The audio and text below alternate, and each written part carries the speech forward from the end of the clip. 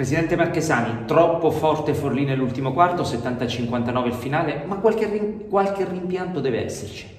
Ma io non direi troppo forte Forlì, anche se è un'ottima squadra, abbiamo retto benissimo per tre quarti di gara, purtroppo poi abbiamo allentato un attimo in difesa e ci sono giocatori ai quali non puoi dare spazio, in effetti poi abbiamo subito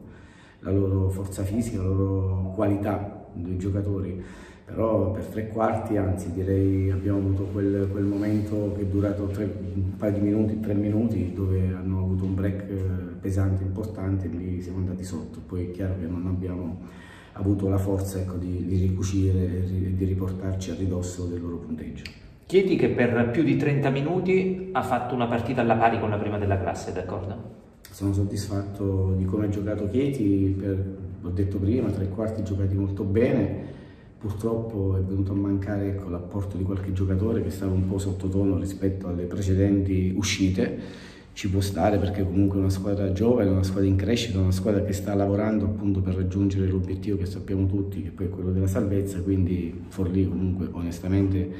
è di una caratura tecnica superiore alla nostra e perdere con Forlì in casa ci potrebbe anche stare.